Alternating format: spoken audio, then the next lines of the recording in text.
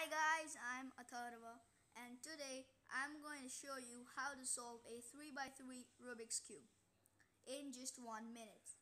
So here we go. So there are six colors in a Rubik's Cube, yeah. And today uh, we are going to learn how to solve a 3x3 cube. So first we need to learn uh, what are the pieces called. So this is a corner piece which has three colors. So it's like blue, red, and white. And this is an edge piece. So it has only two colors. It's a white and it's a red. And one is the center piece. Okay, this. So it has only one color and it never moves. So it has a white color. So we are done with the pieces. Now I'm gonna jumble the cube and we're gonna start solving it.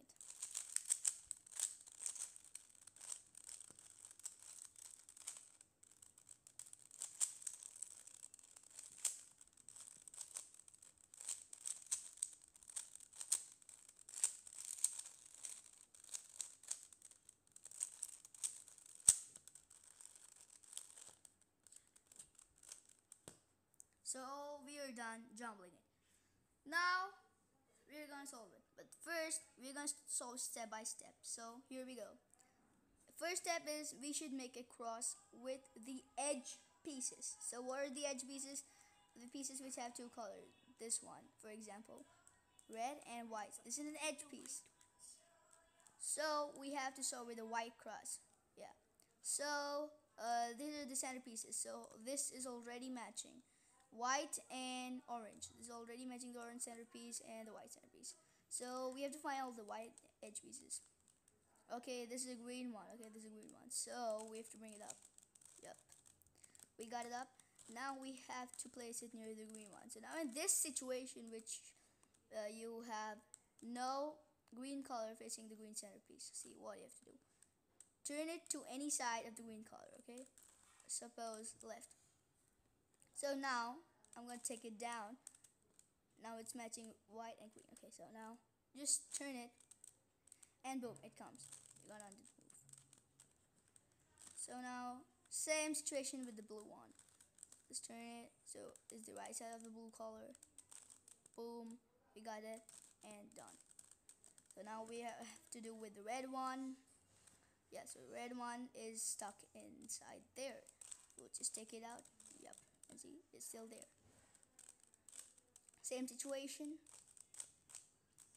So guys we're done with the white cross. Okay? Now we have to place the corners. Okay here here and here. Yep. Now how to do that so this is a white corner piece uh, with uh, orange and green. Okay so first of all, we have to see there's orange and green. So this is white, and yep, it's between orange. Yeah, here orange is there, and there is green. So we have to turn it to the blank side. So this is the blank side, as you can see. It is the right side. So we turn it, take this up, undo it, and down. So we have it. Okay, this is matching over here. This is matching over here. Same way we have to do with all the corners. Now here is a blue, orange, and there's a white one. So this is red and blue. So this is not the color, okay? So this is orange and blue. Yeah, this is also orange and blue. So same situation. We have to turn it to the blank side over here. Take this up, undo it, down. We got this one. So we have to do same way with all the corners. Here we go. So now I've inserted all the basic corners. But now if you have a situation in where, yeah, here, white is not facing in the side, it's facing up. So what you do is turn it up once, two times, and down. So you got it facing at the side, take it. So this is, no, this is blue and red, but we want red and green. So yep, gun here, green and red. You turn it to the blank side, which is the right side. Boom, do it up, down. Now this is already there, right? Yeah, it's blue and red. It's the same color, blue and red. Now we turn it, it up, down. So we have solved the bottom layer, that's a white layer. Okay. Now, third step is to solve the second layer, which is this whole pattern, this whole part. Okay. Mm-hmm. Yep. So how we solve it? Okay, we've got this. Okay, this is an edge piece. We solve it with the edge pieces. We already got the edge piece, but how to solve it? Okay.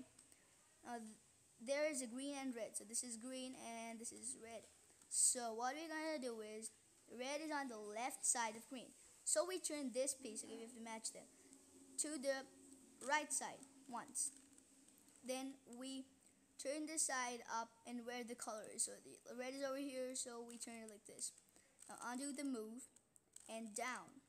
So we got this matching. Okay, boom, boom, boom, boom. So like normal, the blank side, turn it there, up, insert it, and down. So we have solved this much.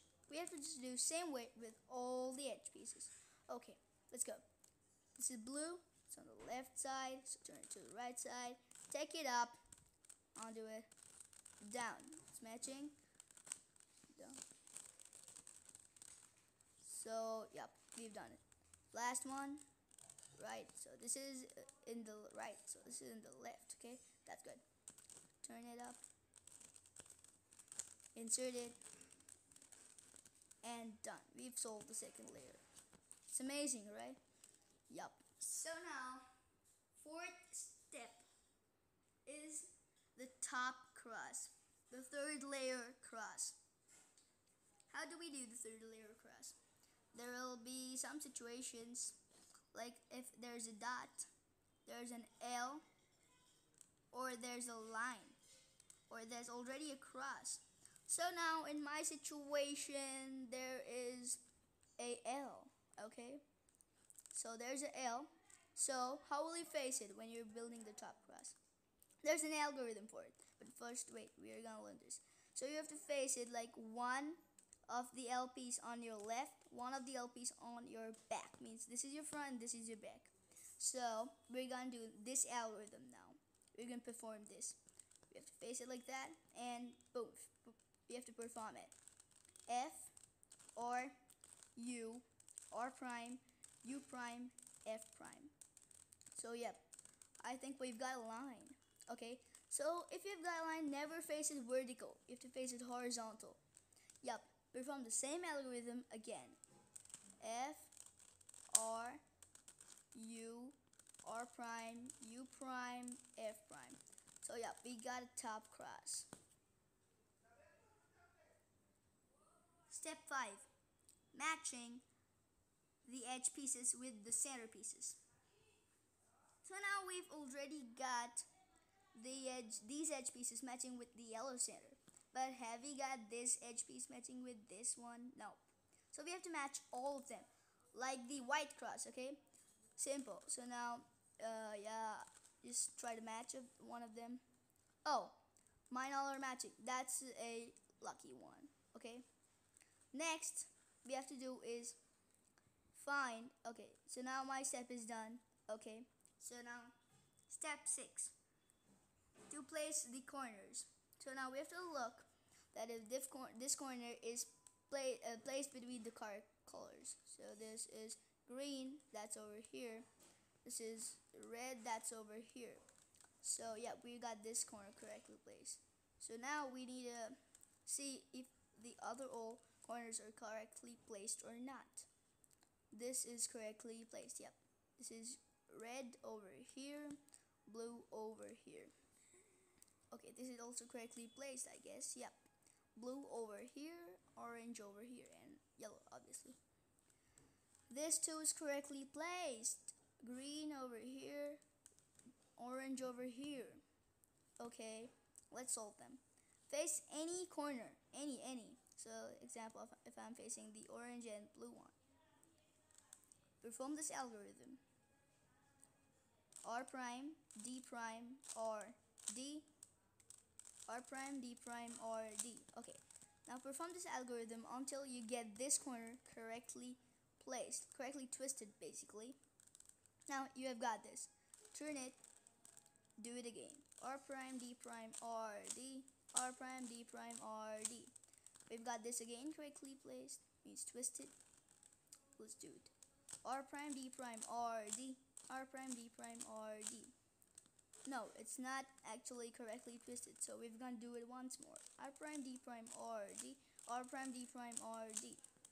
We've done it. It's correctly twisted. Now the last one. r prime d prime r d r prime d prime r d.